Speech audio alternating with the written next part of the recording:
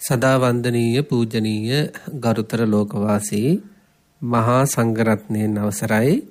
ශ්‍රද්ධාවන්ත කාරුණික ගුණවන්ත පින්නතුනි අද දවසේ අපි දේශනා කරන්න බලාපොරොත්තු වෙන්නේ පින්නතුනි අපි ඕනම කෙනෙක් මේ ජීවිතය තුළ විවිධ දුක්ඛම් කටළු වලට මුහුණ දෙමින් තමයි මේ ජීවිතය ගත කරන්නේ.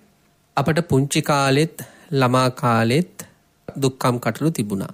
පාසල් යන කාලෙත් දුක්ඛම් කටළු තිබුණා. ඊළඟට පින්නතුනි අපේ පින්නතුන් විවාහ ජීවිත ගත කරද්දිත් දුක්ඛම් කටළු වෙනවා. ඒ වගේමයි ජීවිතයේ බොහෝ සෙයින් මිලමුදල් හම්බ කරලා විශ්‍රාම ගියත් පින්නතුනි ඒ විශ්‍රාම ජීවිතේ පවා විවිධ විදියට දරුම් නුබුරන් නිසා හරි දුක්ඛම් කටළු වෙනවා. ඉතින් අපි කල්පනා කරලා බලන්න ඕන මේ විදියට කොහේ හිටියත් කොතන හිටියත් මේ වගේ දුක්ඛම් කටළු වලට මූණ දෙන්නට සිදු වෙන්නේ Tamanට විතරද අපිට සාමාන්‍යයෙන් පින්නතුනේ අපේ ජීවිතවලට දුක්ඛම් කටළු වෙනකොට දැනෙන්නේ හිතෙන්නේ තේරෙන්නේ මේ ලෝක ධාතුව තුළ දුක් විඳින එකම කෙනා මම කියලා. ජීවිතේ විවිධ අවස්ථාවල විවිධ පරිසරයන් තුළ විවිධ අය හේතු වෙලා දුක්ඛම් කටළු ඇති වෙනකොට එහෙම තමයි ගොඩාක් අයට හිතෙන්නේ. නමුත් එහෙම නෑ පින්නතුනි මේ ලෝකයේ තුල දුක්ඛම් කටළු වලට මුහුණ දෙන එකම චරිතය Taman නෙවෙයි. සමහර අයගේ දුක්ඛම් කටළු වලට එබිල බලද්දි පින්නතුනි අපේ දුක්ඛ දෝමනස්සයන් අපි අත්දකින දුක්ඛම් කටළු මොනවද කියලාත් හිතන තරම්. එපමණට මේ ලෝකයේ තුල අසාධාරණයන්ට පත්වෙච්ච අය ඉන්නවා. පින්නතුනි එතකොට Tamanට විතරක් ආවේනික නොවුණු සියලු සත්වයන්ට පොදු වුණු ධර්මතාවයක් නම් මේ දුක්ඛ දෝමනස්යන්ට මුහුණ දීම ඒ වගේ දුක්ඛම් කටළු බාහිර පරිසරය තුල සකස් වීම අපිට නතර කරන්න බෑ. උදාහරණයක් විදියට අපි ඇසුරු කරන අය වෙනස් වෙන ස්වභාවය අපිට නවත්තන්න බෑ. හැබැයි අපට පින්නතුනි පුළුවන් නම් ඒ වෙනස් වෙන ලෝකය හමුවේ නොසැලෙන හිතකින් ජීවත් වෙන්න අන්න ඒක තමයි දක්ෂතාවය. ජීවිතයේ ආර්ථික ප්‍රශ්න එන්න පුළුවන් පවුල් ප්‍රශ්න එන්න පුළුවන්. පවුල තුළ දූ දරුවන්ගේ ප්‍රශ්න එන්න පුළුවන්. රෝගාබාධ සම්බන්ධව ගැටලු ඇති වෙන්න පුළුවන්. ආදරය කරන අය Taman අතහැරලා යෑම, ආදරය කරන අයගේ ආදරය වෙනස් වීම, ආදරය කරන අය තමට ගරු නොකිරීම, වටිනාකම් නොදීම ආදී විවිධ ප්‍රශ්න ඇති වෙන්න පුළුවන්. නමුත් ඒ ප්‍රශ්න වලින් පීඩාවකට වෙහෙසකට පත් වෙන්නේ නැති හිතක්, ශක්තිමත් හිතක් ඕනම දෙයක් දැරිය හැකි හිතක් අපට හදාගන්න පුළුවන් නම් අන්න ඒක තමයි අපි ලබන ජයග්‍රහණය. පින්නතුනේ සාමාන්‍යයෙන් උප්පත්තියෙන් අපට ලැබෙන හිත නම් මෙහෙම ඕනම දෙයකට ඔරොත්තු දෙන හිතක් නන් නෙවෙයි. මේ ලෝකේ පින්නතුනි දුක් සෝසුසුම් නොහෙලපු කෙනෙක් හොයන්න බෑ. ඉපදුනාට පස්සේ විවිධ දේවල් නිසා දුක් සෝසුසුම් හෙළුවේ නැති කෙනෙක් හොයන්න බෑ. ඇහෙන් කඳුලක් නොවැටුණු කෙනෙක් හොයන්න බෑ. මානසික පීඩාවක් නොවිදපු කෙනෙක් හොයන්න බෑ. ශෝක පරිදේව දුක්ඛ දෝමනස්යන්ට මුහුණ නොදුන් කෙනෙක් හොයන්න බෑ. උප්පත්තියෙම සාමාන්‍යයෙන් ලැබෙන්නේ ඒ වගේ බාහිර දේවල් වෙනස් වෙනකොට බාහිර දේවල් අහිමි වෙනකොට වෙහෙසට පත්වන දුකට පත්වන හිතක්. හැබැයි යම්කිසි කෙනෙකුට මේ සම්මා සම්බුද්ධ ශාසනය හමුණාට පස්සේ පින්නතුණි ඒ දුබල හිත පුංචි දේටත් සැලෙන පුංචි දේටත් රිදෙන පුංචි දේටත් වැටෙන ඒ සැලෙන හිත පින්නතුනි. ඒ දුබල හිත ප්‍රබල හිතක් බවට පත් කරගන්න පුළුවන්. මේ බුද්ධ ශාසනය කියන්නේ පින්නතුනි හිත පෝෂණය කරන දහම. හිත පෝෂණය කරන මාර්ගය පින්නතුනි. දැන් පින්නතුන් දන්නවා ඔය සමහර අය යම් යම් රෝගාබාධ නිසා හරි වෙන යම් දෙයක් නිසා හරි ගිලන් භාවයට පත් වෙලා ශරීර ශක්තිය හීන වෙනකොට කෘෂ වෙනකොට වෛද්‍යවරු යාට තීරණය කරනවා විවිධ විටමින් වර්ග සහ ආහාර පාන. ඒ විවිධ විටමින් වර්ග සහ ආහාර පාන ඒ පුද්ගලයා දවසින් දවස ලබා ගන්න ලබා ගන්න එයාගේ අර කයේ තියෙන දුබල ස්වභාවය පහවෙල ගිහිල්ලා කය ශක්තිමත් වෙනවා. එතකොට හොඳට එයාට මේ සමාජය තුළ පරිසරය තුළ මහ පොළොවේ පය ගහලා ශක්තිමත්ව ජීවත් වෙන්න පුළුවන්. කායික දුර්වලතා කායික දුබලතා ඇති වෙනකොට ඒ කායික දුර්වලතා කායික දුබලතා දුරු කරන්නට විවිධ විටමින් වර්ග පෝෂණීය ආහාර ලබා දෙනවා. ඊට පස්සේ ඒ ශරීරය ශක්තිමත් වෙනවා. උප්පත්තියෙම පුංචි දෙයටත් දරාගන්න බැරි පුංචි දෙය හින්දාත් කඩා වැටෙන පුංචි දෙයක්වත් දරාගන්න බැරි දුබල හිත පින්නතුනි අන්න ඒ වගේ ශක්තිමත් කරන්නේ බලවත් කරන්නේ බුදුරජාණන් වහන්සේගේ ධර්මයේ තුලින් බුදුරජාණන් වහන්සේ දේශනා කළ ධර්මයේ තුලින් පින්නතුනි ඔය හිත හොඳට පෝෂණය කරන්න ඕනේ. කය ආහාර පාන විටමින් වලින් පෝෂණය කර කර පෝෂණය කර කර නිරන්තරයෙන්ම කායික ශක්තිය වර්ධනය කරගන්නවා වගේ තියෙන ශක්තිය රැකබලා ගන්නවා වගේ සම්මා සම්බුදුරජාණන් වහන්සේ දේශනා කළ ධර්මයේ තුලින් තමයි පින්නතුනි හිතක් පෝෂණය වෙන්නේ. හිතක් ශක්තිමත් වෙන්නේ. එහෙම ශක්තිමත් හිතක් මේ ධර්මයෙන්ම පෝෂණය කර කර පෝෂණය කර කර හදාගත්තොත් දූ දරුවන්ගේ ඕනම වෙනස්කමක් දිහා සාන්තව බලාගෙන ඉන්න පුළුවන් හිතක් ලැබෙනවා. අම්මා තාත්තගේ ඕනම වෙනස්කමක් හමුවේ ඒ දිහා සාන්තව බලාගෙන ඉන්න පුළුවන් හිතක් ලැබෙනවා. ස්වාමියාගේ හරි භාර්යාවගේ හරි ඕනම අකටුතුකමක් හමුවේ සාන්තව බලාගෙන ඉන්න පුළුවන් හිතක් ලැබෙනවා. මේ ලෝකේ ආදරය කරන අය Taman අතහැරලා යද්දි ආදරය කරන සමීපතමයන් මිය පරලෝ යද්දි පවා ඒ දිහා උපේක්ෂාවෙන් බලාගෙන ඉන්න පුළුවන් ශක්තිමත් අතිප්‍රබල චිත්තසංතානයක් පින්නතුණි මේ බුදුරජාණන් වහන්සේ දේශනා කළ ධර්මයේ තුලින් ශ්‍රාවකයන්ට ඇති කරගන්න පුළුවන්. අපේ පින්නතුන්ට මතක ඇති සම්මා සම්බුදු පියාණන් වහන්සේ වැඩ වාසය කරපු කාලේ බන්දුල මල්ලිකා කියලා අම්ම කෙනෙක් හිටියා.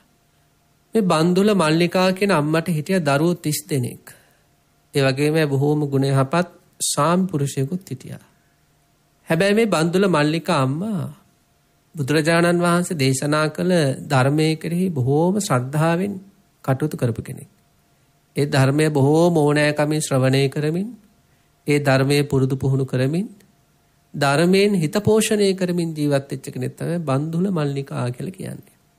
ඉතින් එක්තරා අවස්ථාවකදී සිද්ධ වුණේ මොකද්ද? රටේ කැරැල්ලක් ඇති වුණ වෙලාවක මෙතුමියගේ සාම්පුරුෂයාටත් සාම්පුතුණුවන්ටත් පුතාලා 30 දෙනාටත් ඊළඟට ඒ කැරැල්ල සංසිඳවන්නට යන අනෙකුත් සොල්දාදුවනුත් සමග නිවසෙන් පිටත් වෙන්නට සිද්ධ වුණා. හැබැයි එදා ඒ නිවසින් පිටත් වුණු තමන්ගේ සාම්පුරුෂයාවත් පුතාලා 30 දෙනාවත් පින්නතුනි ආපහු පණ පිටින් ගෙදර ආවේ නැහැ. ඒ 31 දෙනාම යුද බිමේදී කැරැල්ල සංසිඳවන්න ගිහිල්ලා මිය පරලෝ යනවා. ඉතින් සාමාන්‍ය ලෝකේ බලන්න පින්නතුනි අම්මා කෙනෙකුට පුතාලා 10ක් 15ක් නෙවෙයි. එක පුතෙක් නැති වුණත් පුතාලා හතර දෙනෙක් ඉන්න අම්ම කෙනෙක්ට එක පුතෙක් මිය ගියොත් කොහොමද ඇති වෙන වේදනාව? ඊළඟට බලන්න සාමාන්‍ය ලෝකේ සාම්පුරුෂයා සාම්පුතුණුවන් Tamanට ගුණ යහපත් සාම්පුරුෂයෙක් අහිමුණාට පස්සේ ඒ භාර්යාවකට තියෙන වේදනාව කොච්චරක්ද? කෑ ගහ ගහ අඬනවා. මතක් වෙන මතක් වෙන වාරයක් පාසා ඉකිබිඳිනවා. මතක් වෙන මතක් වෙන වාරයක් පාසා අවුරුද්දක් දෙකක් ගියත් හූල්ලන ගතියක් තියෙනවා. එහෙමයි අර ධර්මයෙන් පෝෂණය නොවුණු හිතක තියෙන ස්වභාවය හිත හරි දුබලයි. වෙන්වීම දරා ගන්න බෑ කොහොමටවත්. නමුත් පින්නතර බලන්න මේ ධර්මයෙන් හිත හොඳට හොඳට පෝෂණය කරගෙන හිටපු බන්දුල මල්ලිකා මෞතුමියට තමන්ගේ ශාම්පුතුණන් මිය ගියා කියලා ආරංචුණත් පුතාලා මිය ගියා කියලා ආරංචුණත් පින්නතුනි එක සුසුමක් හෙළුනේ නැහැ. එක කඳුලක් වැටුනේ නැහැ. හීල්ලුවේ නැහැ. ඉන්න කාලෙත් තමන්ගේ දයාබර සාම්පතුනුවන්ට දරුවන්ට උපරිමම යුතුයකම් කළා වගේ. මිය ගියාට පස්සෙත් කළ යුතු යුතුයකමක් තියෙනවා නම් අන්න ඒ යුතුයකම සිදු කළා මිසක් කවදාවත් ස්වාමියා අහිමුණා ළමයි ටික අහිමුණා කියලා අනන දොඩන වැළපෙන ජීවිතයක් බවට ඒ බන්දුල මල්ලිකා මෞතුමිගේ ජීවිතේ පත්තුන්නේ එතකොට බලන්න මේ ලෝකයේ තුල දහමින් පෝෂණය නොවුණු අය අඬන තැන දහමෙන් පෝෂණය වුණ අය අඩන්නේ නෙවෙයි පින්නතුනේ.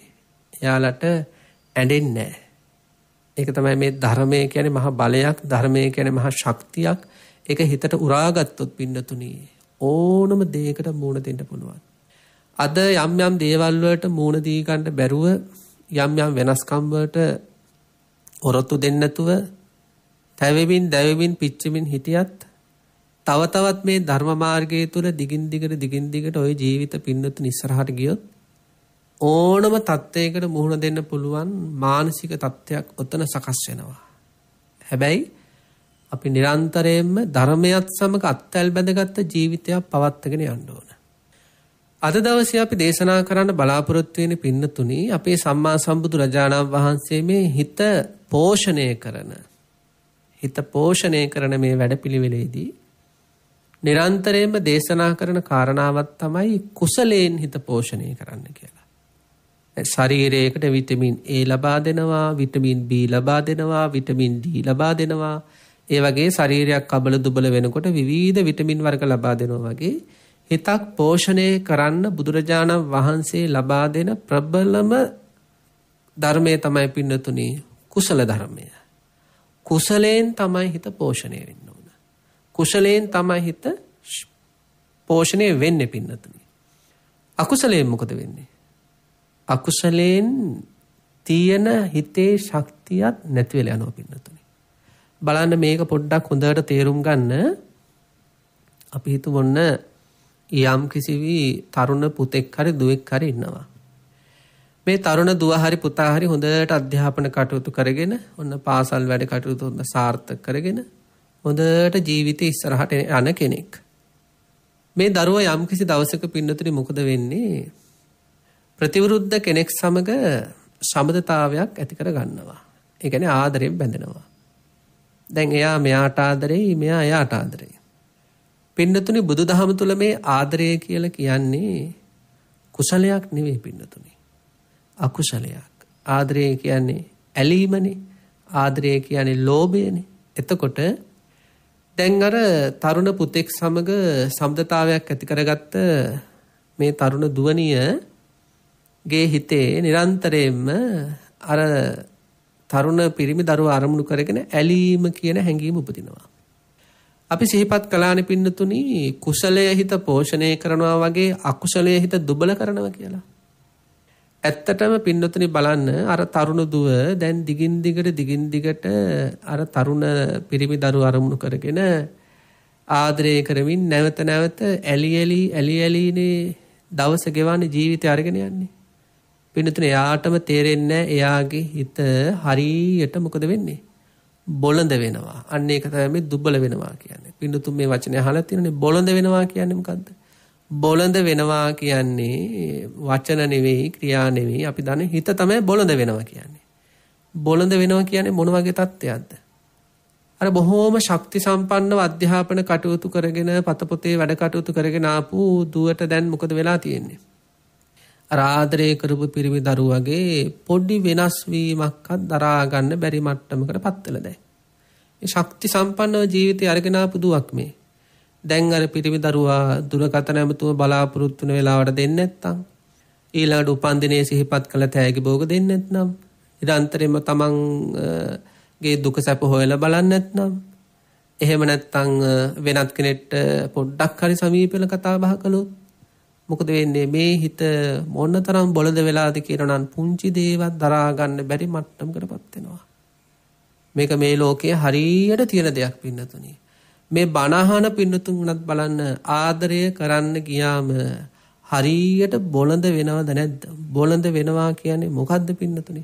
බොළඳ වෙනවා කියන්නේ පුංචි දෙයක්වත් දරා ගන්න බැරි තත්යකට තමන්ගේ හිතපත් වෙනවද නැද්ද? පුංචි දෙයක්වත් දරා ගන්න බෑ. වචනයක් වර්ධනකොට හිතට අමාරුයි. හැබැයි ඊට කලින් නම් පින්නතුනේ. ඒ වගේ தත්යකටපත් වෙන්න කලින් හරියට ශක්ති සම්පන්නව හිටියා. ඒකයි බුදුරජාණන් වහන්සේ දේශනා කළේ අකුසල් වැඩෙන්න වැඩෙන්න වැඩෙන්න හිත බොළඳ වෙනවා. අබල දුබල වෙනවා. හැබැයි යමෙක්ගේ ජීවිතේ ඊට ප්‍රතිවිරුද්ධ කුසල් වැඩෙනකොට මොකද වෙන්නේ? බොළඳ හිතින් නමුත් පින්නතුනි කුසල් වඩන්න පටන් ගත්තොත් ඒ හිත ටිකෙන් ටික ටිකෙන් ටික ටිකෙන් ටික ශක්ති සම්පන්න වෙන්න පටන් ගන්නවා. අර බන්දුල මල්ලිකා මෞතුමියත් අතීතයේ ධර්මයෙන් හිත පෝෂණය කරන්න කලින් නම් තමන්ගේ පුතාල ගැන තියෙන ඇලීම නිසා, ස්වාමියා ගැන තියෙන ඇලීම නිසා දුකටපත් වෙච්ච අවස්ථා බොහොමයක් තියෙන්නේ නැති. ඇයි ඇලීම කියන්නේ හිත බොළඳ කරන හැඟීමක්නේ. හැබැයි මේ අම්මා ඒ බොළඳකමට ඉඩ දෙන්නේ නැතුව ටිකෙන් ටික ටිකෙන් ටික කුසලයේ තුල ජීවිතේ ඉස්සරහට අරගෙන ගියා. බොළඳ බව පුංචි දෙයටත් හිත රිදෙන ගතිය මොකදුනේ? පහවිලා පහවෙලා ගිහිල්ලා පුතාලගේ මරණය හමුවෙත් පින්නතුනි නොරිදෙන හිතක් ඇති කරගත්තා. ස්වාමියාගේ මිය යෑම තුල පවා නොරිදෙන හිතක් ඇති කරගත්තා. අපි අන්න ඒ විශ්වාසය ඉස්සෙල්ලාම ඇති කරගන්න ඕනේ. අපි ඉස්සෙල්ලාම ඇති කරගන්න ඕන විශ්වාසය තමයි පින්නතුනි මට මේ සම්මා සම්බුදු පියාණන් වහන්සේ දේශනා කළ ධර්මය භාවිතා කරලා කුසලය වර්ධනය කරලා අදටත් වඩා ඕනම දෙයකට මූණ දෙන්න පුළුවන් හයිය හිතක් හදාගන්න පුළුවන් කියලා අපි ඉස්සෙල්ලාම විශ්වාස කරන්න ඕනේ. ධර්මය කෙරෙහි විශ්වාසය තියන්න ඕනේ පින්නතුනි. ධර්මයේ කෙරෙහි පින්නතුනි පැහැදෙන්න ඕන අපි. මට මේ දේ කරගන්න පුළුවන්. ඉතින් අන්න එහෙම විශ්වාසය ඇති කරගෙන තමයි ශක්තිමත් හිතක් ඇති කර ගැනීම සඳහා කුසල ධර්ම වලින් හිත පෝෂණය කිරීම එක කියන කාරණාව පටන් ගන්න ඕන. එතකොට පින්නතුනි මේ හිත පෝෂණය කිරීම කියන කාරණාව තුළදී කුසලය වැඩීම කියන කාරණාවේදී.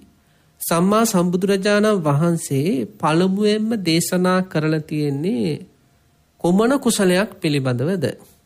පිනත්‍රි පළමුුවේම බුදුරජාණන් වහන්සේ දේශනා කරලා තියෙන්නේ කුසල සීලය පිළිබඳවයි. ගැන සීලය තුළ උපදින කුසලය තමයි අපි ඉස්සෙල්ලාම අපේ ජීවිතයේ හිත හදා ගැනීමේ වැඩපිළිවෙලේදී භාවිතා කරන්න ඕන. දැන් අපේ පිණුතුන් දන්නවනේ ඉස්සෙල්ලාම උපාසකෙක් මොකද්ද කරන්න ඕන උපාසිකාවක්. සරණාගමනේ පිහිටන්න ඕන. මට මේ ලෝකේ කිසියම්ම කෙනෙක්ගෙන් මේ සංසාර ගමන ස්ථීර රැකවරණයක් ස්ථීර සැනසීමක් ස්ථීර පිහිටක් නැහැ. මට මේ අනන්ත අප්‍රමාණ සංසාර සාගරයේ හමු වෙන මහා දුක්ඛ දෝමනස්යන් හමුවේ තියෙන එකම සරණ මගේ බුදුරජාණන් වහන්සේ ඔබ වහන්සේ විතරයි කියලා ඕන බුද්ධං සරණං ගච්ඡාම් කියලා ඒ සරණ සරණේ පිහිටනවා. ඊළඟට ධම්මං සරණං ගච්ඡාමි සංඝං සරණං ගච්ඡාමි කියලා ධර්මයේ පිහිටනවා සංඝ රත්නයේ පිහිට කරගන්නවා. එහෙම තෙරුවන් සරණ කරගන්න උපාසකයා උපාසිකාව ඊළඟට පින්නතුනි මොන කුසලයේද පිහිටන්නේ? පංචශීලයේ පින්නතුනි. ඔන්න බලන්න හිත හදා ගැනීමේ වැඩපිළිවෙලේදී අපි ඉස්සෙල්ලාම හිත ශක්තිමත් වෙන්නට ශක්තිමත් වෙන්නට පින්නතුනි ලං කරගත යුතු පළවෙනි කුසලය තමයි පින්නතුනි කුසල සීලේ නම් වූ පංචශීල ප්‍රතිපදාව. එහෙනම් පංචශීලය කියන්නේ හිත ශක්තිමත් වෙන්නට හේතු වෙන වැඩපිළිවෙලක්. දුස්සීල භාවය කියන්නේ හිත දුබල වෙන්නට හේතුන වැඩපිළිවෙලක්. දැන් බලන්න මේ ලෝකේ ප්‍රාණඝාත කරපු අය නැද්ද අතීතේ? ප්‍රාණඝාත කරපු අය ඉන්නවා. අදටත් ප්‍රාණඝාතය අත්නොහැර කරන අය ඉන්නවද නැද්ද? ඉන්නවා.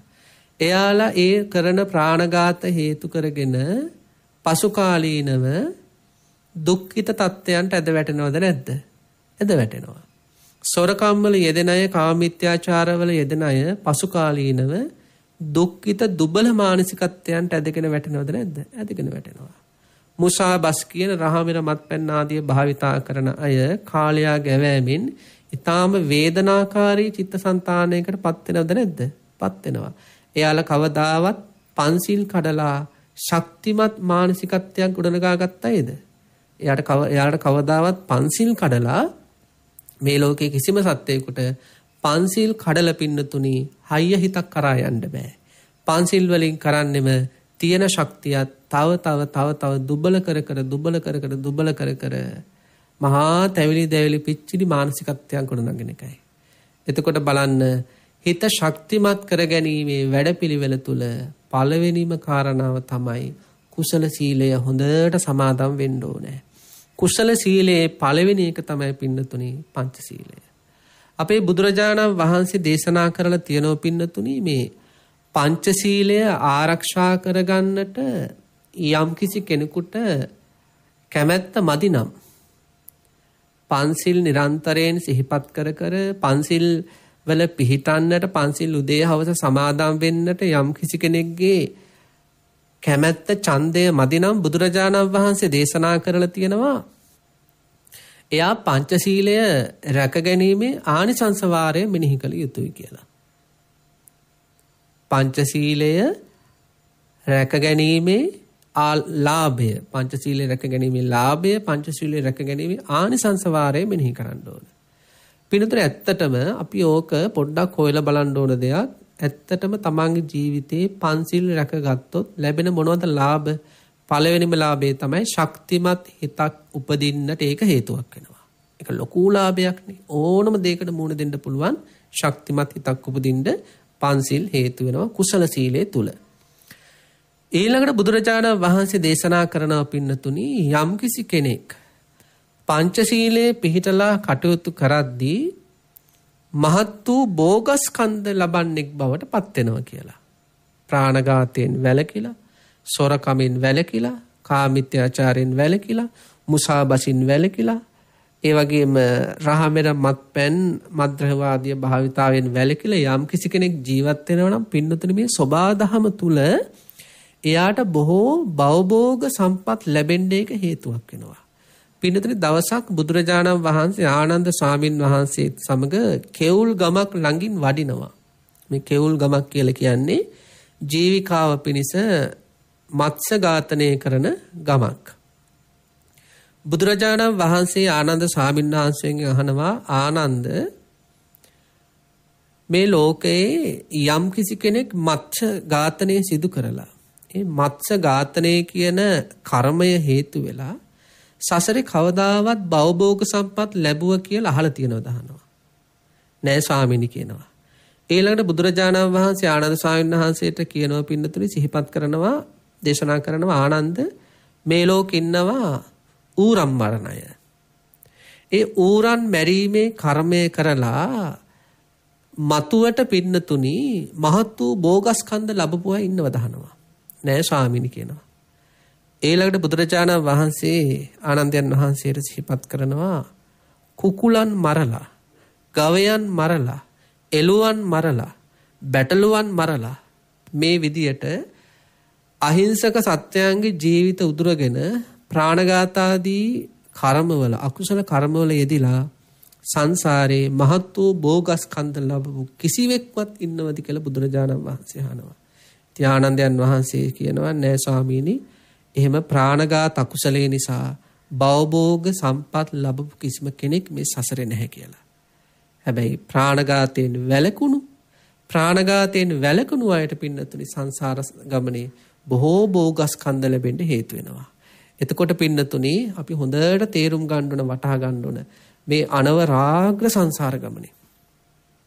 කෙලවරක් නොපෙනෙන සංසාර ගමනේ කිසියම්ම කෙනෙක් පින්නතුනි පරපණ නසලා ලබපු භෝගස්කන්ධයක් නැහැ. හැබැයි පරපණ නැසීමෙන් ඉවත් වීම තුල යා බොහෝ භෝගස්කන්ධ ලබන්නේ බවට පත් වෙලා තියෙනවා. ඒ නිසා පින්නතුනි අපි හොඳට මෙනෙහි කරන්න ඕනේ මේ පංචශීලයේ තුල සඳහන් වෙන පළවෙනි ශික්ෂාව උන ප්‍රාණඝාතයෙන් වැළකීම තුල පින්නතුනි.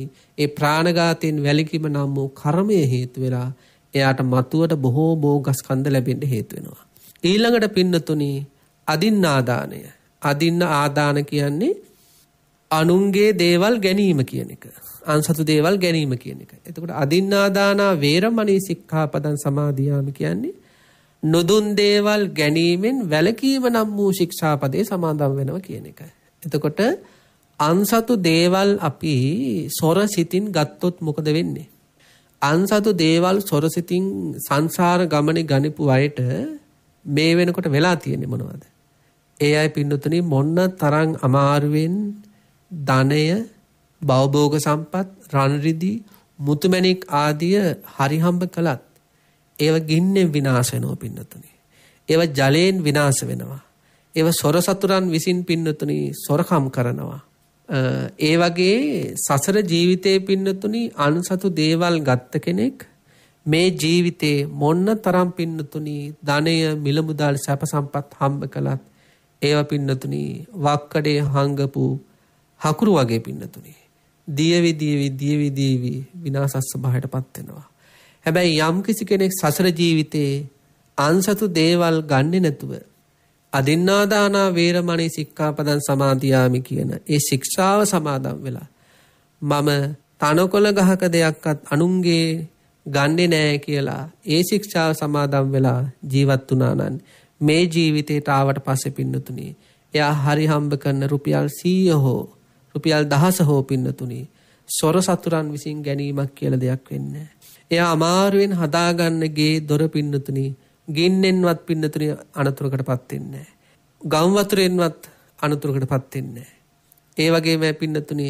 එයාට රන් රිදී මුතු මැණික් ඉඩකඩම් ආදිය හරි හම්බ කරගත්තේව තියෙනවා නම් ඒවට පින්නතුනි කිසියම්ම අනතුරක් හානියක් වෙන්නේ නැහැ. ඇයි සසර ජීවිතේ අන් සතු දේවල් අන් සතු දේවල් හොර හිතින් ගත්තේ නැහැ. ඒ නිසා පින්නතුනි අපි අපේ වර්තමාන ජීවිතේ අන් සතු දේවල් නේ තමම වැඩ කරන රාජ්‍ය ආයතනෙන් වේවා තමම වැඩ කරන පුද්ගලික ආයතනෙන් හෝ වේවා ලැබෙන වැටුපට එහා රුපියලක්වත් ගන්න හොඳ නැහැ පින්නතුනි. අපි රුපියලක් හෝ ගන්නව කියන්නේ හොර හිතින් අන් සතු දෙයක්මයි. ඒක රජයේ සතු හරි වෙනත් කෙනෙක් සතු දෙයක්. එතකොට අපට මොකද වෙන්නේ? අන්සතු දේවල් ගත්තොත් සසර ගමනේ පින්නත. සසර ගමන කියන්නේ මේ ඉදිරි අනාගතයේ හෝ මරණින් මතු සසර ගමනේ අපි හමාරුවෙන් උපයා සපයා ගන්න දේවල් හොරුන් විසින් ගන්නවා, මම් පහරනම් විසින් ගන්නවා, ගින්නෙන් විනාශ වෙනවා, ජලයෙන් විනාශ වෙනවා.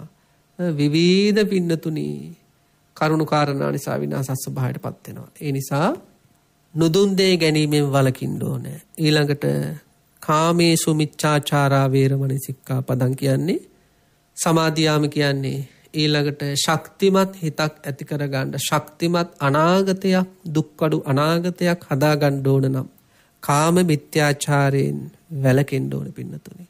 කාම මිත්‍යාචාරයෙන් කියන්නේ වැළකීම කියන්නේ යම් කිසි කෙනෙක් විවාහ ජීවිතයකට ඇතුළු වුණාට පස්සේ යම් ස්වාමියෙක් ජීවිතේ පුරාවටම සරණක් කරගත්තනම් යම් භාර්යාවක් ජීවිතේ පුරාට පුරාවටම සරණක් කරගත්තනම් ඒකයි සරණ මංගල්‍ය කියලා කියන්නේ එතකොට ඒ සරණක් කරගත්ත ස්වාමියා ඉක්මවා යන්න හිතන්නේ ඉක්මවා යන්නේ නැහැ. ක්‍රියාවෙන්වත්. ඊළඟට ඒ භාර්යාව පින්නතුනි ඉක්මවා යන්න හිතන්නේ විතරක් නෙවෙයි ඉක්මවා යන්නේ කොහොමටවත් ක්‍රියාවෙන්වත්. හැබැයි යම් කිසි කෙනෙක් සරණ කරගත්ත ස්වාමියාට පිටුපාලා සරණ කරගත්ත භාර්යාවට පිටුපාලා කාම මිත්‍යාචාරයේ යෙදුනොත් පින්නතුනේ එයාට බොහෝ වේදනාකාරී අනාගතයක් ගොඩ නැගෙනවා.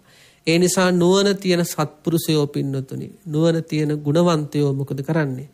බෝසත් ගුණ පුරන අය අතීතයේ කාමිත්‍යාචාරාදී වැරදි වුණත් වර්තමානයේ එවැනි වරදක් නොකරන්න වග බලා ගන්නවා. බලන්න බුදුරජාණන් වහන්සේ දේශනා කරන පින්නතුනි කිකීව අණ්ඩං චමරීව වාලදින් පියන්න පුත්තං නයනංව ඒකකං තතේව සීලන් අනුරක්ඛමානා සුපේශලා හෝත සදා සගාරවා බුදුරජාණන් වහන්සේ දේශනා කරනවා මේ කාම මිත්‍යාචාරාදී පාපයන්ගෙන් ඉවත් වෙලා මේ සිල්වත් භාවයේ කියන එක පින්නතුනි මොනතරම් රැකගන්න ඕනද කියනව නම් බුදුරජාණන් වහන්සේ දේශනා කරනවා එක දරුවෙක්කින් අම්ම කෙනෙක් එකම එක දරුවයි ඉන්නේ එක්ක දුවෙක් එක්ක පුතෙක් එකම එක දරුවෙක් ඉන්නේ අම්මේ දුව රකින්නේ කොහොමද? පුතා රකින්නේ කොහොමද? අන්න ඒ වගේ පින්නතුනි පන්සිල් රකින්න ඕනේ. ඊළඟට බුදුරජාණන් වහන්සේ දේශනා කරනවා කිරල් දෙනක් කිරල් මවක් පින්නතුනි කිරලියක් තමන්ගේ බිත්තර රකින්නේ කොහොමද? අහස අහස පැත්තට පින්නතුනි කහුල් දෙක දාගෙන පින්නතුනි ඒ බිත්තර රකින්නවා. ඇයි අහස කඩම් වැටේ කියලා හරි බයක් තියෙනවා. එච්චර ඕනෑකමකින් පින්නතුනි අර බිත්තර රකින්නවා. අන්නේ කිරල මවක් තමන්ගේ පැටවුන්ගේ බිත්තර රකින්නේ යම්සේද.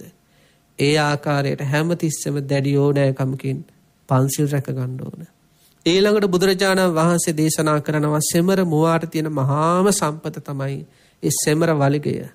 අන්නේ සෙමර මුවා ඒ සෙමර මුවාගේ වලිගය රකින්නේ යම්සේ දන්නේ ආකාරයට ශ්‍රාවකය පින්නතුනි උපාසකය උපාසිකාව පන්සිල් රැක ගන්න ඕනේ. ඊළඟට බලන්න දීලා තියෙන උපමාව එක ඇහැක් තියෙන පුද්ගලයෙක් ඉන්නවා. එයාට උප්පත්තියෙන් එක හැයි වැඩ කරන්නේ. එහෙම නැත්නම් ජීවිතේ යම්කිසි අනතුරක් වෙලා හරි ජීවිත ගමන එක තැනකදී එක ඇහැක් ඉතුරු වෙනවා. ඒ එක ඇහැක් තියෙන එකසක් තියෙන පුද්ගලයා පින්නතුනි මොන තරම් ආදර ගෞරවයකින් වටිනාකමකින් ඕනෑකමකින් ඒ තියෙන ඇහැ රැක ගන්නවද? අන්නේ ඇහැ රැක ගන්න වගේ ප්‍රාණඝාතයෙන් වැළකෙන්න ඕනේ. සොරකමෙන් වළකින්න ඕනේ. කාමිත්‍යාචාරයෙන් වළකින්න ඕනේ. මුසාබසින් වළකින්න ඕනේ. රහමෙට මත්පැන් භාවිතාදියෙන් වලකින්න ඕනේ. පන්සිල් රකින්න ඕන පින්නතුනි. ප්‍රාණඝාතයෙන් වැළකීම කියන ශික්ෂාව එක ඇහැක් තියෙන මිනිස්සෙකුට ඒ ඇහැ රැකගන්න යම් උවමනාවක්ද තියෙන්නේ. ඒ ආකාරයට රැකගන්න ඕන. එතකොටයි පින්නතුනි ආනිසංස ලැබෙන්නේ. සොරකම් නොකිරීම කියන ශික්ෂාව පින්නතුනි එක ඇහැක් තියෙන මිනිස්සෙක් ඒ ඇහැ රැකගන්නවා වගේ. සොරකම් නොකිරීම කියන ශික්ෂාව රැක බලා ගන්න ඕන. පිළිතුර බලන්න මොනතරම් ආදර ගෞරවයකින් මේ පංච සීලය රැක බලා ගන්න ඕනද. අම්මෙක් තමන්ගේ දරුවෙක් රකින්න කොච්චර පින්නතුනි කැපවීමක් දරනවද. ඇඳේ තියල යද්දිත් කොට්ට දෙක තුනක් දෙපැත්තෙන් තියල යන්නේ. ඊළඟට බලන්න දනගානවනම් පින්නතුනි බලන්නේ දරුවාට අනතුරක් වෙන කිසිම දෙයක් ඒ දරුවට පේන මානෙ තියන්නේ. උළුවස්සට පවා හරහට පටි ගහනවා දරුව එලියට ගිහිල්ල අනතුරකට පත්තේ කියලා. අන්න ඒ වගේ එක දරුවෙක්කින් නම්මෙක් ඒ දරුවා රකින විදි අපට ආයේ හිතාගණ්ඩත් බැරි තරම්. බලන්න බුදුරජාණන් වහන්සේ අපට දීල තියෙන උපමාව නද බලන්න මොන්න තරන් ඇතුලාන්ත හැඟීමක් දරුවෙක් රකි නම්මෙක් වගේ පන්සිල් රකිින්ට කියනවා. ඇයි පින්නතුනි බුදුරජාණන් වහන්සේ මෙච්චර පන්සිල් රකින්න කියන්නේ. එච්චරට මානිසංසයි. අනි පැත්තෙන් එච්චරටම දොස්සීල භාවය ආදීනව සහගතය පින්නතුනි. ආදීනව සහගතයි.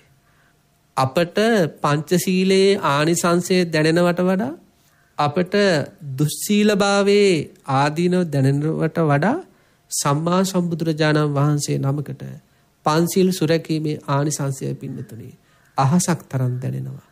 දුස්සීලභාවේ ආදීනවය පොළොව තරම් දැනෙනවා පින්නතුනේ. මොකද සම්මා සම්බුදුරජාණන් වහන්සේලා දැනගත්ත දැකගත්ත අතීත සංසාර ගමනේ පන්සිල් කැඩීම තුළ සංසාරගත සත්‍යයෝ දුකට පත්වන හැටි. ඒ වගේම දැනගත දැකගත් අතීත සංසාර ගමනේ පන්සිල් රැකගත්ත සත්‍යයෝ මහා පින්නතුනි සැනසිලිදායක ජීවිත ලබපු හැටි. ඉතින් පින්නතුනිය දේශනා කරනවානේ සීලය කියන්නේ සුගතියට සෝපානයක් කියලා. නේ ඒ කියන්නේ ලිෆ්ට් එකක් වගේ නිකන් දිව්‍ය තලයකට යන්න, මනුස්ස ලෝකයකට යන්න. සීලය කියන්නේ සුගතියට සෝපානයක්. දැන් අපි මෙහෙම හිතුම් පින්නතුනි ඔන්න යම් කිසි කෙනෙක් කියන ගොඩාක් ධනවත් කෙනෙක්. හරි ධනවත් මෙයා. මෙයා මොකද කරන්නේ? මෙයා මෙයා ගාව බොහෝ ධනෙ තියෙන නිසා මෙයා කල්පනා කරනවා මෙයාත් ඉතින් තෙරුවන් සරණ ගිහිල්ලා මෙයාටත් ශාසනය ගැන හැඟීම් ඇති වෙලා මෙයා කල්පනා කරනවා මමත් මගේ ජීවිතේ පරිත්‍යාගය පුරුදු කරන්න ඕන කියලා. ඉතින් මෙයා මොකද කරන්නේ ඔන්න අනාථ නිවාස වලට සලකනවා. වැඩිහිටි නිවාස වලට සලකනවා. ඊළඟට ඔය සතා සීපාවට පවා හොඳට සලකනවා. ඊළඟට බුදුරජාණන් වහන්සේට දන් පූජ කරන බුද්ධ පස්ථාන සිදු කරනවා. සංඝරත්නයට හොය හොයා ගිහිල්ලා දන් පූජා කරනවා. හැබැයි පින්නතුනි මෙයා ප්‍රාණඝාත කරනවා. මෙයාගේ ජීවිතේ කාමිත්‍යාචාර වෙනවා. මෙයාගේ අතින් හරියට බොරු කියවෙනවා. පින්නතුනි මොකද වෙන්නේ? මෙයාට සුගතියට යන්න හේතු වෙන සීලය නැති නිසා මෙයාට මොන්න තරම් දාණය පුරුදු කළත් සුගතියකට යා ගන්න හම්බ වෙන්නෙම නැහැ. මෙයාට මොකද වෙන්නේ? මෙයාට දුගතියට යන්න වෙනවා.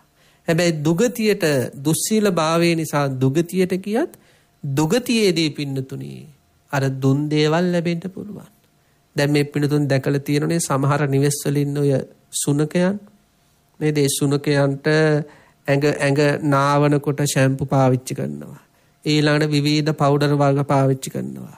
ඊළඟට ඊටාම සුව පහසු සෝෆාවල තමයි නිදාගන්නේ. හරියට පින්නතුනි දරුවෝ හදන වගේ සමහර අය මේ ලෝකේ බලු පැටව් සුනකයන් හදනවද නැද්ද? අන්න බලන්න දුස්සීල භාවය නිසා තිරිසන් ලෝකවලට ආවා. හැබැයි දුන් දේ පින්නතුනි ඔන්න ලැබෙන්න පටන් ගත්තා. හැබැයි ඒව ලැබෙන්නේ ගොළු ජීවිතයක් තුලදී. තිරිසන් සත්තු කියන්නේ ගොළුව වගේ පින්නතුනි. එයාලට කතා කරන්න බෑ. අදහස් ප්‍රකාශ කරන්න බෑ. ඉතින් අන්නේ නිසා අපි හොඳට තේරුම් ගන්න ඕන පින්නතුනි සම්මා සම්බුදුරජාණන් වහන්සේ නමක් තරම් පංචශීලයේ ආනිසංස වාරය පින්නතුනි අවබෝධ කරගත්ත තවත් උත්තමයෝ නැහැ. ඒ වගේම සම්මා සම්බුදුරජාණන් වහන්සේ තරම් දුස්සීලභාවයේ ආදීනව අවබෝධ කරගත්ත තවත් කවුරුවත් නැහැ. ඒකයි මෙච්චර කරුණාවෙන් ඉමහත් කරුණාවෙන් බලන්න පින්නතුනි මේ දීලා තියෙන උපමා නැවත නැවත හිතන්න. අම්මෙක් දරුවෙක් රකින්න වගේ පන්සිල් රැකගන්න. කිරල දෙන බිත්‍ර රකින්නවා වගේ පන්සිල් රැකගන්න. ඊළඟට එක හැක් තියෙන කෙනා ඒ ඇහැ රැකගන්නව වගේ පන්සිල් රැකගන්න. ඊළඟට පින්නතුනි වලගය රකින සෙමරමුවා වගේ පන්සිල් රැකගන්න. බලන්න මොනතරම් කරුණාවද්ද කියලා. ඇත්තට පින්නතුනි අපිට සැනසීම දෙන්න මෙහෙම කටයුතු කරපු තව කවුද ඉන්නේ? අපේ අම්මා තාත්තවත් පින්නතුනි මෙච්චර අපිව සීලයට යොමු කෙරෙව්වද? අපේ දරුවවත් මෙච්චර ඉමහත් කරුණාවකින් අපිව සීලයට යොමු කෙරෙව්වද? නේද? ස්වාමියා භාර්යාවවත් මෙච්චර කරුණාවකින් නේද? නිරන්තරයෙන්ම සම්මා සම්බුදුරජාණන් වහන්සේ දීර්ඝ සංසාර ගමනක අපිට පින්නතුනි දුකෙන් අත්මිදිලා ශක්තිමත් සැනසිලිදායක චිත්තසංතාන ජීවිත ඇති කරගන්නට අවශ්‍ය පරිසරය සකස් කරලා දෙන්න. දීර්ඝ සංසාර ගමනක පෙරුම්දම් පුරාගෙන ඇවිල්ලා ඇවිල්ලා ඇවිල්ලා පින්නතුණි. අවසානාත්ම භාවයේදී සම්මා සම්බුද්ධත්වයට පත් වෙලා. ඉමහත් කරුණාවෙන්මද නැද්ද පින්නතුණි මේ දේශනා කළ තියෙන්නේ. උන්වහන්සේ නිවිල ඉවරයි. සම්මා සම්බුදුරජාණන් වහන්සේ දා සම්මා සම්බුද්ධත්වයේ සාක්ෂාත් කරන මොහොතේම නිවුණා. නිවුණු බුදුරජාණන් වහන්සේ අපිව නිවන්නයි පින්නතුණි මේ විදිහේ මහත් කරුණාවෙන් දේශනා කරන්නේ. පන්සිල් රකින්ඩ පන්සිල් රකින්ඩ පන්සිල් රකින්ඩ කියලා. ඒ නිසායි බුදුරජාණන් වහන්සේ කෙරෙහි ගෞරව දක්වන අය බුදුරජාණන් වහන්සේ කෙරෙහි ශ්‍රද්ධාවෙන් කටයුතු කරන අය ආදර ගෞරවයෙන් පන්සිල් වැළඳ ගන්නවා. ඒ පන්සිල් රැකබලා ගන්නවා. අම්මෙක් දරුවෙක් වැළඳගෙන රැකබලා ගන්නවාගේ. ඇයි බොහෝ ආනිසංස පින්නතුනි. එතකොට බලන්න ඔන්න යම්කිසි කෙනෙක් තමන්ගේ ජීවිතේ ශක්තිමත් චිත්ත සන්තානයක් ඇතිකර ගැනීමට යන ගමන තුළ එයා පින්නතුනි කුසලයෙන් හිත පෝෂණය කරන්න ඕන. අන්නේ කුසලයෙන් හිත පෝෂණය කර ගනීමේදී පළවෙනි කාරණාව තමයි කුසල සීලයේ පිහිටන්න ඕන. කුසල සීලයේ පළවෙනි කොටස තමයි පින්නතුනි පංච සීලය කියලා කියන්නේ. ඒ පංච සීලයට කියනවා ප්‍රාතිමෝක්ෂ සංවර සීලය කියලා. මෙච්චරයිද සිල් තියෙන්නේ පින්නතුනි. පන්සිල් අටසිල් දසසිල් උපසම්පදා සිල්ලාදී සිල් මෙච්චරයිද තියෙන්නේ. නෑ පින්නතුනි. තව සිල් තියෙනවා. ඒ සීලයනුත් අපේ ජීවිතයට එකතු කරගත්තොත් තව තවත් දිවි මඟ සරුවෙන්න දිවි මඟ සැපවත් වෙන්න ශක්තිමත් හිතක් ඇති වෙන්න හේතු වෙනවා. මොනවද අනිත් සිල්? දැන් අපේ පිනතුන් අහලා තිනේද සතර සංවර සීලය කියලා.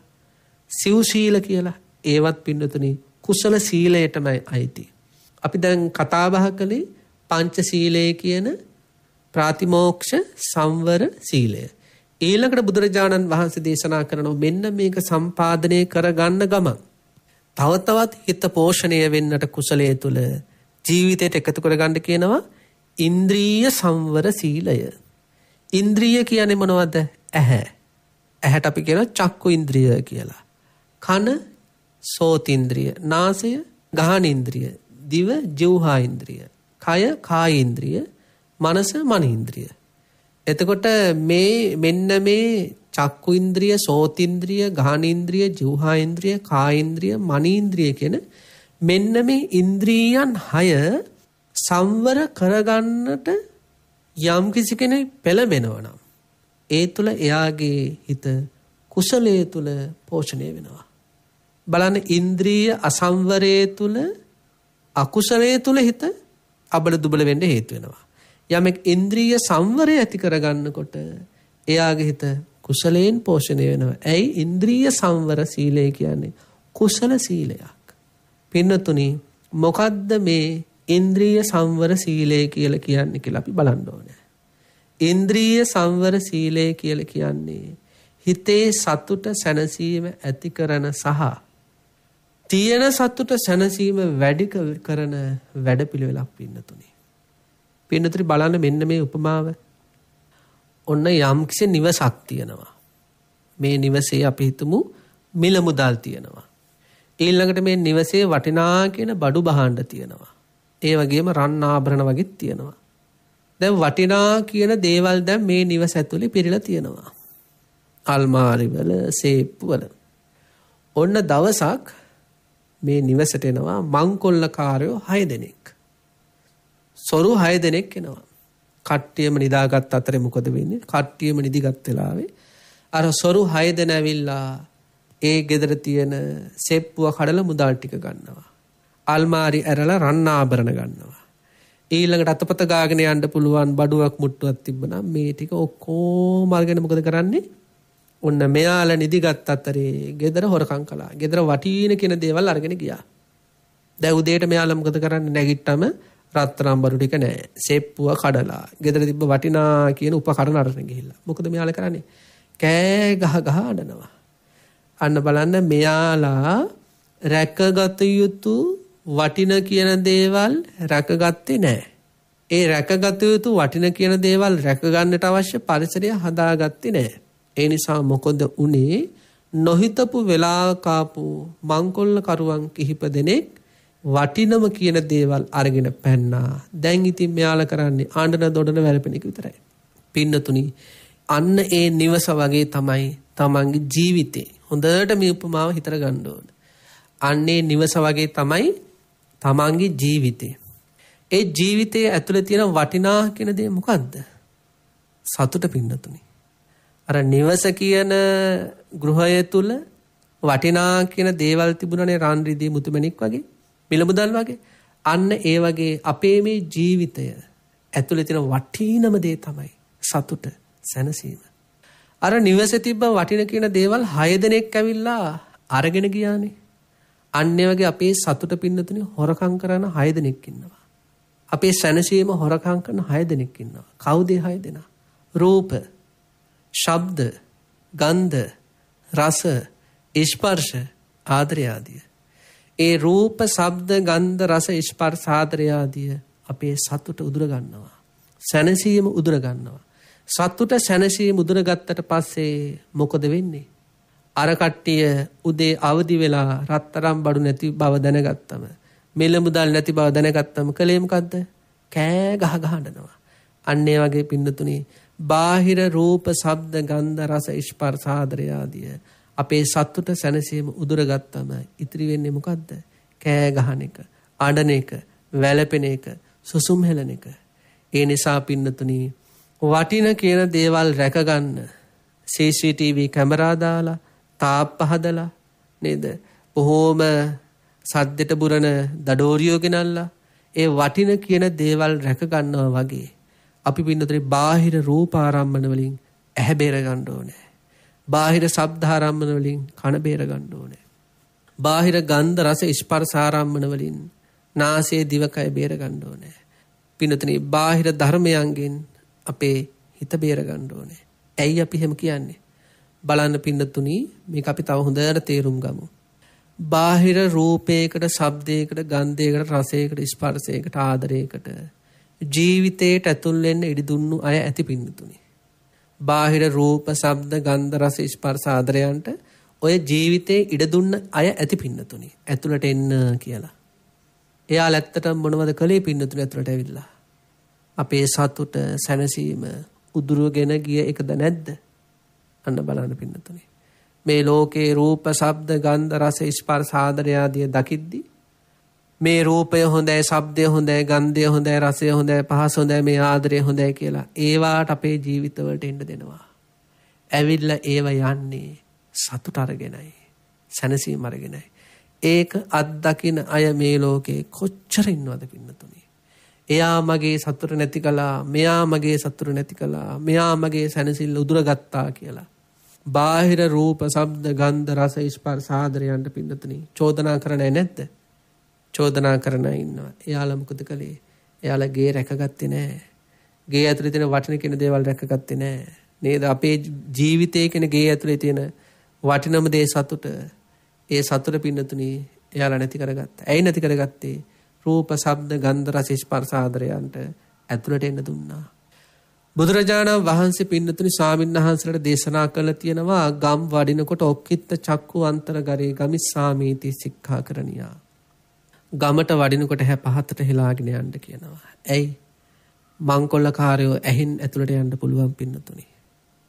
රූප ඇහෙන් ඇතුළට යන්න පුළුවන්. ඇතුළට ගියාට පස්සේ මොකද වෙන්නේ? කාලය ගෑවීමෙන් ඇතුලේ සතුට නැති කරනවා. අර බුත් අපේ තායිලන්තේ වැඩ වාසය කළ පින්නතුනි බූරි දත්ත කියලා මහතෙරුන් වහන්සේ නමක්. මේ බූරි දත්ත කියන මහතෙරුන් වහන්සේ ළඟ බොහෝ ශිෂ්‍යයෝ ඇවිල්ලා පැවිදි වුණා.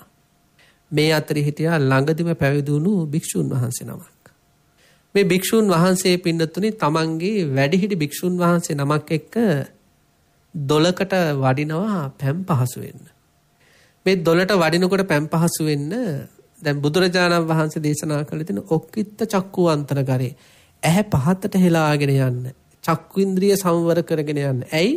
ඇහෙන් මංකොල්ලකාරයෙක් ඇතුල් වෙලා සතුටු දුර ගන්න පුළුවන්. ඉතින් මේ නවක භික්ෂූන් වහන්සේට ඕව ගැන අදහසක් තිබ්බේ නෑ. හැඟීමක් තිබ්බේ නෑ. මෙයා මොකද කරේ වැඩිහිටි භික්ෂුන් වහන්සේ ඉස්සරහින් යනවා බිම් බලාගෙන මෙයා හොඳට වටපිට බල බල යනවා දැන් පැම් පහසු වෙන්න දොලට. ඒ අතරේ මොකද වෙන්න ගෙවිලියෝ ටිකක් පින්නතුනි කුඹුරේ වැඩ කරලා හවස්යාමේ ගෙවල් බලා යනවා. දැන් මේ ස්වාමීන් වහන්සේ වටපිට බල බලන යන්නේ ඔන්න ඔය ගෙවිලියන් අතර හිටපු එක තරුණියක් මේ ස්වාමීන් වහන්සේත් එක්ක hina වෙනවා. ස්වාමීන් වහන්සේත් hina වෙනවා. අන්නේ රූපය දැන් ඇහෙන් ඇතුළට ආවා. ඊට පස්සේ මොකද වෙන්නේ මේ ස්වාමීන් වහන්සේට දැන් හැමතිස්සෙම අර තරුණිය පේන්න පටන් ගත්තා. මතක් වෙන්න පටන් ගත්තා. දවස් කීපයක් ගෙහිල්ලා ඒ ස්වාමීන් වහන්සේ අර තමන් වහන්සේ සමග පැන් පහසු වෙන්න කියපු වැඩිහිටි ස්වාමීන් වහන්සේ ළඟට ගිහින් කියනවා අනේ ස්වාමීනි එදා ඔබ වහන්සේත් එක්ක පැන් පහසු වෙන දොලට යනකොට ඔබ වහන්සේට මතකද ගෙවිලියෝ කිහිප දෙනෙක් ගියා. ඉතින් අර ස්වාමීන් වහන්සේ කියනවා අනේ මන් නම් දැක්කේ නෑ මම බිම් බලාගෙනමයි දොලට ගියේ. අනේ ස්වාමීන් වහන්සේ ගියා ගියා එතනින් ගියා ගෙවිලියෝ ටිකක් ගියා කුඹුරු වැඩ කරලා එතන හිටපු එක තරුණියක් ලස්සන තරුණියක් මාත් එක්ක hina වුණා මමත් hina වුණා දැන් මට එයා මතක් වෙනවා හරියට පිච්චෙනවා කියලා කියනවා. ඉතින් අර වැඩිහිටි ස්වාමීන් වහන්සේ අවවාද අනුශාසනා කරනවා ඔබ වහන්සේ ගොඩාක් පරිස්සම් වෙන්න ඔබ වහන්සේගේ පැවිදි ජීවිතයට හානියක් පාවෙන්න පුළුවන්. බණ භාවනා කරලා ඒ රූපය පිළිබඳව තියෙන ඇලීම දුරු කරන්න කියනවා. ඉතින් මේ ස්වාමීන් වහන්සේ නවක ස්වාමීන් වහන්සේ නමක් ධර්මයේ තුල පරිණත භාවයත් අඩුයි මේ ස්වාමීන් වහන්සේට අර තරුණිය අමතක කරන්න බැරි වෙනවා. ඉතින් කාලය ගැවෑමෙන් ඒ ජීවිතේ විසඳුනේ කොහොමද පින්නතුනේ? උන්වහන්සේ උපවැදි වෙනවා. අර තරුණියත් එක්ක පෞල් ජීවිතය ගත කරන්න පටන් ගන්නවා. එතකොට බලන්න පැවිදි සැපය උදුරගත්තද නැද්ද? පැවිදි සුඛය උදුරගත්තද නැද්දේ? බාහිර රූපය. අන්න ඒකයි පින්නතුනි කියන්නේ. බාහිර රූප, ශබ්ද, ගන්ධ, රස, ස්පර්ශ, ආදරය ආදී මංකොල්ලකාරයන් වගේ. අපි ඒවට ඉඩ දුන්නොත් ඒවා අපේ චිත්ත අභ්‍යන්තරයට ඇවිල්ලා අපේ ඇතුලේ තියෙන රස මුසු තැන් සතුට සැනසෙල්ල උදුර ගන්නවා. ඊට පස්සේ මොකද වෙන්නේ? එයාලා ආගියතක් නැහැ. ඉතුරු වෙන්නේ දුක වේදනා විතරයි. ඒ නිසා බුදුරජාණන් වහන්සේ දේශනා කරනවා ඇහැ පරිස්සම් කරගන්න ඕනේ. මේ ලෝකයේ තියෙන සියලු රූප බලන්න ලැබිච්ච හැක් නෙවෙයි මේ ඇහැ. මේ ඇහැ කියන්නේ යහපත් අරමුණු ගන්නට ලැබුණු එකක්. චෛත්‍ය මළුව කරමුණක් බෝධිරාජාණන් වහන්සේ නමගේ දර්ශනයක් බුදු පිළිම වහන්සේ නමකේ දර්ශනයක් ඒ වගේ මේ ලෝකේ විවිධ යහපත් දර්ශන තියෙනවා පුළුවන් තරම් පින්නතුනි අන්නේ දර්ශන තමයි මේ ඇහෙන් ගන්න ඕනේ හිතේ සතුට වැඩි කරන දේවල්මයි දකින්න ඕනේ හිතේ සැනසීම වැඩි කරන දේවල්මයි අහන්න ඕනේ හිතේ සතුට සැනසීම වැඩි කරන දේවල් මම මතක් කරන්න ඕනේ. මොහොතක සතුට සැනසීම දීලා ජීවිතේකම සතුට සැනසෙල්ල උදුර ගන්න දේවල් වලට පින්නතුනි ඇහැ කන නාසය දිවකය මනස පාවිච්චි කරන්න හොඳ නැහැ. ඒ නිසා පින්නතුනි බලන්න දැන් පළවෙනි කාරණාව තමයි කුසල සීලය හිත ශක්තිමත් කර ගැනීමේ වැඩපිළිවෙලේදී කුසල සීලය කියන කාරණාව අපේ හිත හරියට පෝෂණය කරනවා. නැවත නැවත කුසල් උත්පාදනය කරමින් නැවත නැවත කුසල් ජනනය කරමින් එතනදි පළවෙනිම කාරණාව තමයි හොඳට පංචශීලයේ පිහිටලා පන්සිල් රකින්න ඕන. පංචශීලයේ රකින්න රකින්න වාරයක් පාසා හිත කුසලයෙන් පෝෂණය වෙනවා. ඊළඟට මොකද කරන්න ඕනේ? තමන්ගේ අධ්‍යාත්මික සන්තෝෂයේ සතුට සැනසෙල්ල උදුරා ගන්නට නැති වෙන්නට හේතු වෙන මේ රූප, ශබ්ද, ගන්ධ, රස, ස්පර්ශ ආදරය ආදී අරමුණු වලින් පුළුවන් තරම් බේරි බේරි ජීවිතය අරගෙන යන්න ඕනේ. ඊළඟට බුදුරජාණන් වහන්සේ දේශනා කරන ආජීව පාරිශුද්ධ සීලය ඒකත් කුසල සීලයක්. ආජීව පාරිශුද්ධ සීලය කියන්නේ පින්නතුනි. Taman දිවි පැවැත්ම වෙනුවෙන් ජීවිතේ පවත්වාගෙන යන්න කවදාවත් කපටිකම් කරන්න හොඳ නැහැ. වංචා කරන්න හොඳ නැහැ. වැරදි කරන්න හොඳ නැහැ. ජීවිතේ පවත්වාගෙන යෑමේදී තමන්ගේ දිවි පැවැත්ම එහෙම නැත්නම් තමන්ගේ ආජීවය ඉතාමත් පිරිසුදු වෙන්න ඕනේ. කාලය ගැවෑමෙන් තමන්ට තමන්ගේ දිවි පැවැත්ම ගැන දිවි පැවැත්ම පවත්වාගෙන යෑමට අවශ්‍ය මිලමුදල් හම්බ කිරීම ගැන චෝදනා ඉන්න බෑ. මම බොහෝම සාධාරණ විදිහට මේ රාජ්‍ය ආයතනය තුළ කටයුතු කරලා තමයි දරුවන් පෝෂණය කළේ. මම බොහෝම සාධාරණය විදිහට තමයි මේ ආයතනය තුළ ඉඳගෙන එහෙම නැත්නම් මේ රැකියාව කරන නිවස තුළ ඉඳන් හරි මගේ දරුවන් පෝෂණය කළේ කියලා. මතුවට චෝදනාවක් ඇති නොවන විදිහට පින්නතුනි මිලමුදල් සැප සම්පත් හම්බ කරන්න ඕන. ඉතින් ඒ ඒකට කියනවා ආජීව පාරිශුද්ධ සීලය කියලා. ඊළඟට ඒකත් කුසල සීලයක් අවසාන එක තමයි ප්‍රත්‍ය සම්නිශ්‍රිත සීලය. ප්‍රත්‍ය සම්නිශ්‍රිත සීලය කියන්නේ පින්නතුනි අපේ ජීවිතේ පවත්වා ගැනීමට භාවිතා කරන ගෙවල් දොරවල් ආහාර පාන ඇඳුම් පැළඳුම් බේත් හේත් කෙලෙස් නූපදින විදියටමයි පාවිච්චි කරන්න ඕනේ. ගෙවල් දොරවල් නිසා මාන්න උපදවා ගන්න නරකයි. මොකද ගෙවල් දොරවල් කියන්නේ මේ ලැබිලා තියෙන පංචස්කන්ධ කූඩුව පරිස්සමට තියාගන්නට తాවකාලිකව පරිහරණය කරන එකක්. ආහාර පාන නිසා මාන්නේ උපදවා ගන්න හොඳ නැහැ. අපි හොඳට කාලා බීලා ඉන්නයි කියලා. අපි යන්නේ මේ මේ වගේ හොටෙල් වලට රෙස්ටෝරන්ට් වලට කියලා එහෙම මාන්නේ උපදවා ගන්න හොඳ නැහැ. මොකද ආහාර කියන්නේ ජීවිතේ පවත්වාගෙන යන්නට ගන්න එකක් විතරයි. ඊළඟට ඇඳුම් පැළඳුම් නිසා මාන්නය ඇති කරගන්න හොඳ නැහැ. කෙලෙස් ඇති කරගන්න හොඳ නැහැ. මොකද ඇඳුම් පැළඳුම් කියන්නේ ලැජ්ජාතන් වහගන්නට භාවිතා කරන වස්ත්‍ර. ඊළඟට බෙහෙත් හේත් නිසාවත් පින්නතුනි ඖෂධ නිසාවත් මාන්නය උපදවා ගන්න හොඳ නැහැ. මම අර හොස්පිටල් එකෙන් බේත් ගන්නේ මේ හොස්පිටල් එකෙන් බේත් ගන්නේ අර ඩොක්ටර් තමයි channel කරන්න කියලා ඖෂධ සපයා ගැනීමේදීවත් කෙලෙස් නූපදින විදියට මාන්නයක් නූපදින විදියට ඒවා සිදු කර ගැනීමට කියනවා ප්‍රත්‍ය සම්නිශ්චිත සීලය යෝනිසෝ මානසික කාර්යයෙන්ම ඇඳුම් පැළඳුම් ගෙවල් දොරවල් ආහාර පාන බේත් හේත් පරිහරණය කිරීම. ලෝභ දේශ මෝහ නූපදින විදියට ධර්මානුකූල මානසිකාර පවත්තමින් ඒ ඒ කාරණා ජීවිතයට එකතු කර ගැනීම තුළ කුසලයේ රැස් වෙනවා. ඒකත් කුසල සීලයක්. ඔන්න ඔය කාරණා හතර පින්නතුනි අපට අපේ ජීවිතේ පොඩ්ඩ පොඩ්ඩ හරි පුරුදු කරන්න පුළුවන් නම් පුහුණු කරන්න පුළුවන් නම් මොනවද? පංචශීලය ඉන්ද්‍රිය සංවර සීලය ආජීව පාරිශුද්ධ සීලය ප්‍රත්‍ය සම්නිශ්චිත සීලය. ඔන්න ඔය සිව් සීලයේ පිහිටපු ශ්‍රාවකයාගේ හිත හරීම ශක්තිමත් මොකද පංචශීලයේ තුලත් නැවත නැවත කුසලයමයි ඉන්ද්‍රිය සංවර සීලය තුලත් නැවත නැවත කුසලයමයි. ආජීව පාරිශුද්ධ සීලය තුලත් නැවත නැවත කුසලයමයි. ප්‍රත්‍ය සංරිෂිත සීලය තුලත් නැවත නැවත කුසලයමයි. මේ හතර පැත්තකින්ම ගලාගෙන ආපු කුසල ගංගාව මෙයාගේ හිත පෝෂණය කරනවා. ශරීරයකට විටමින් දීලා විවිධ කිරිපිටි වර්ග දීලා ආහාර පාන දීලා දුබල ශරීරය ශක්තිමත් ප්‍රබල ශරීරයක් බවට පත් කරගන්න යම්සේද? මෙයා මේ සතර පැත්තෙම කුසල සීලයන් තුල ගලාගෙන එන කුසල ගංගාවලින් මෙයාගේ හිත ශක්තිමත් කරගන්නවා පෝෂණය කරගන්නවා. එතකොට මොකද වෙන්න පින්නතුනි? දරුවන්ගේ වෙනස්කම් වලට මේක සැලෙන්නේ පර්වතයක් වගේ. ස්වාමියාගේ හරි භාර්යාවගේ හරි නොකටයුතුකම් වලට අසාධාරණකම් වලට දැන් සැලීමක් නැහැ පර්වතයක් වගේ ඊළඟට අම්ම තාත්තගෙන් අයහපතක් වුණත් අම්ම තාත්තගෙන් යම් කිසි වචනයක් වැරදුනත් සලකලත් අගයක් නැත්තන් එයාලට ඒත් මේ හිතට ඒව දැන් දරාගන්න පුළුවන් පර්වතයක් වගේ.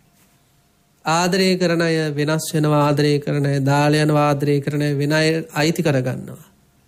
ඒත් මේ හිත සැලෙන්නේ නැහැ.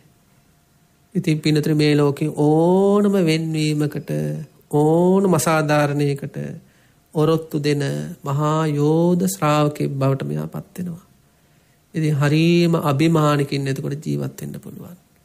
හැම දිනාටම මේ සතර සංවර සීලය නම් වූ කුසල සීලය තුලම නැවත නැවත යෙදීමට ශක්තිය ධෛර්යය සිහිය නුවණ වීර අධිෂ්ඨාන ලැබේවා කියලා අපි ප්‍රාර්ථනා කරනවා. ගයාන් දුෂ්‍යන්ත මහතා ඇතුළු ඒ කාර්ය මණ්ඩලයේ පින්නතුන් හැම දෙනාටම නිදුක් නිරෝගී භාවය පිණිසම මේ පින්කම හේතු වේවා කියලා ප්‍රාර්ථනා කරනවා. ඒ වගේම ධර්ම ශ්‍රවණය කළ ලක්වාසී සියලු දෙනාටත් විදේශගත සියලු ශ්‍රී ලාංකිකයන්ටත් ප්‍රාර්ථනීය බෝධියකින් සුඛ පටිපදාවෙන් චතුරාර් සත්‍ය ධර්ම අවබෝධය පිණිසම මේ පින් මේ කුසල් හේතු වේවා කියලා ප්‍රාර්ථනා කරනවා.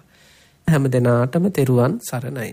ආකා සට්හා චබුම්මට්හා දේවා නාගා මහිද්ධිකා පුඤ්ඥන්තන් අනුමෝදිත්වා චිරන්රක් කන්තු සාසනං ආකාසට්හාච බුම්මට්ටහා දේවානාගා මහිද්ධිකා පුඤ්ඥන් තංගනු මූදිත්වා චිරන්රක්කන්තු දේශනංආකා සට්හාච බුම්මට්ටා දේවානාගා මහිද්ධිකා පුඤ්ඥන් තංගනු මෝදිත්වා චිරන්රක්කන්තු මං පරන්ති. සැදැහැවතුනී අතදින මෙම සුමధుර ධර්මදේශනාව සඳහා ඊටමත් ගෞරවෙන් මේ ධර්ම මණ්ඩපයේ වෙත වැඩම කරවා ගනු ලැබුවේ දොඩම් තලාව ධම්මගිරි ආරණ්‍ය සේනාසන වාසී පූජ්‍යපාද පුහුල්බැල්ලේ සාරද ස්වාමින් වහන්සේ. අපේ හාමුදුරුවනේ ඔබ වහන්සේ සිදු කරන ආගමික ශාසනික ධර්ම ප්‍රචාරක කටයුතු තව තවත් සිදු කරන්නට ත්‍රිවිධ රත්නයේ ආශිර්වාදයම ලැබේවායි අපි සාදු සිත පෙරදැරිව ප්‍රාර්ථනා කරමු. අවසරයි අපේ හාමුදුරුවනේ.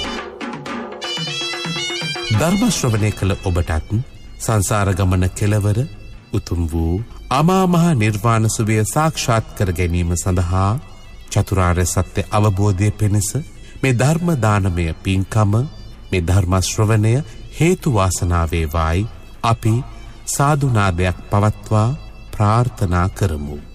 ඒ ප්‍රාර්ථනාවත් සමගින් සදහැවතුනි ධර්මදේශනාව හමාර කරමින් සමුගන්නවා.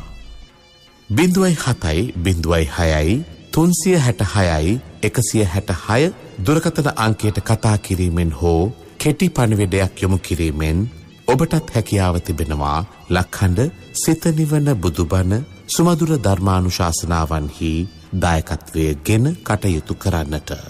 එවෙනුවෙන් ඔබට පිංසිත් පහළවේවා. සියලු දෙනාටම සම්මා සම්බුදු සරණයි.